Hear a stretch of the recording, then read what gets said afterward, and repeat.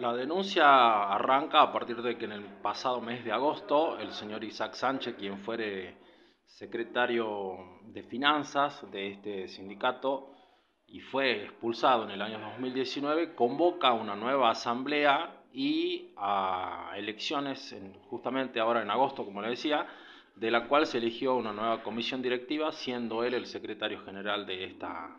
supuesta comisión nueva. Obviamente todo esto se da dentro de un marco de irregularidades, denuncias de por medio del señor Ontiveros, también expulsado de este sindicato,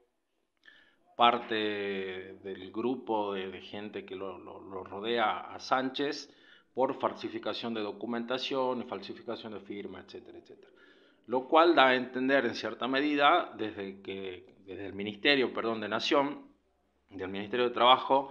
se autorizó toda esta movida que se hizo por parte de Sánchez, lo cual hoy da a entender que existen paralelamente dos comisiones directivas dentro de un mismo sindicato.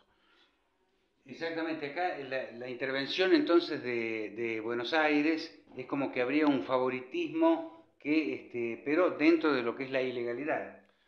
Así es, eh, bueno, el señor Carrizo, este, actual secretario general, tiene su mandato vigente hasta el julio del año que viene,